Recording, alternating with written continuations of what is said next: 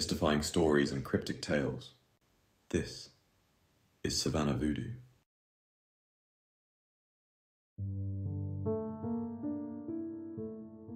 Venture into the heart of Savannah, Georgia, where history and hauntings collide.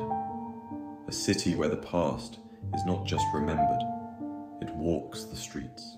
Whether it's the ghostly figure of a Confederate soldier wandering in Forsyth Park, the haunting sounds of a fife and drum echoing through Bonaventure Cemetery, or the eerie silence of old military forts, unique stories and the unbreakable bonds forged in battle is what you'll find.